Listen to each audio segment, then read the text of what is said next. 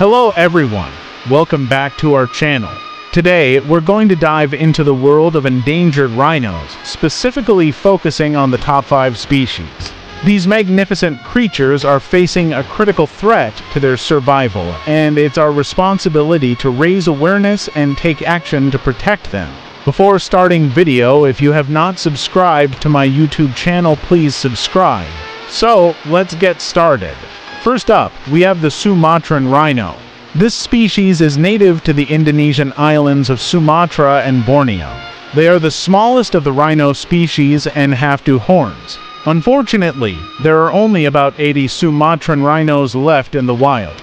They face threats from habitat loss, poaching, and human-wildlife conflict. Next, we have the Javan rhino.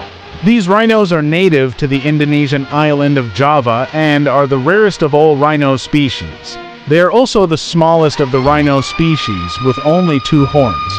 There are only about 70 Javan rhinos left in the wild, and they face similar threats to the Sumatran rhino.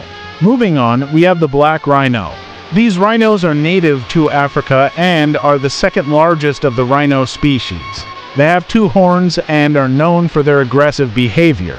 There are about 5,000 black rhinos left in the wild, and they face threats from poaching and habitat loss. Fourth on our list is the greater one-horned rhino. These rhinos are native to India, Nepal, and Bangladesh. They have a single horn and are the largest of the rhino species. There are about 3,500 greater one-horned rhinos left in the wild, and they face threats from poaching and habitat loss. Finally, we have the white rhino. These rhinos are native to South Africa and are the third largest of the rhino species. They have two horns and are known for their grazing behavior. There are about 20,000 white rhinos left in the wild, and they face threats from poaching and habitat loss.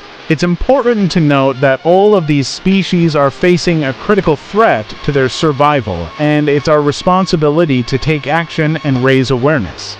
By educating ourselves and others, we can make a difference in protecting these incredible creatures. Thank you so much for joining us today. If you found this video informative and engaging, please don't forget to like, share, and subscribe for more content like this. Remember, every action counts in protecting our planet and its wildlife. Until next time, take care and stay curious.